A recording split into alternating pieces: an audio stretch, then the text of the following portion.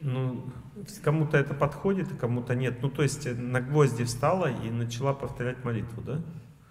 Ну, мне кажется, нормально, если вам нравится. Вот, допустим, я, мне не подходит. Меня сильно напрягает. Я, у меня и так высокий тонус. Бывает у человека, у людей э, слабый тонус, низкий. Они вот клюют носом постоянно там. Чуть отвлекся уже. Ну, тогда на гвоздях хорошо. Тонус повышается. На гвоздях тонус повышается.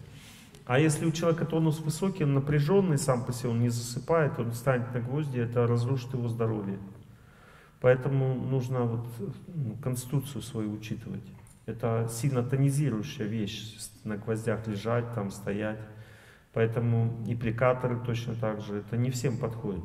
Но если вам подходит, вы чувствуете, что вам хорошо, можете так делать казалось, наоборот расслабляет. То есть после того, как напряжение, и через какое-то время это напряжение уходит. Ну, значит, вам подходит. Потому что некоторые могут, вот, если вам не подходит, вы, допустим, встаете на аппликаторы, стоите, а потом у вас скрючивает поясницу, и вы неделю не можете разогнуться. Это значит не подходит. Ну, то есть надо аккуратно с, э, с этими вещами обращаться, потому что кому-то подходит это, а кому-то нет. А это увеличивает эффект э, молитвы, то есть как аскеза?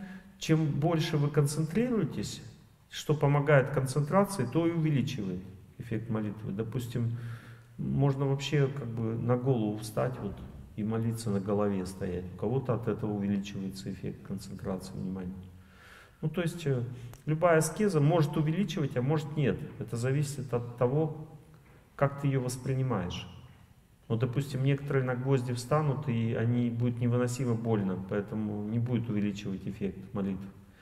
А если вы не, не сильно обращаете на это внимание, а тонус повысился, то будет э, хорошо помогать. Спасибо.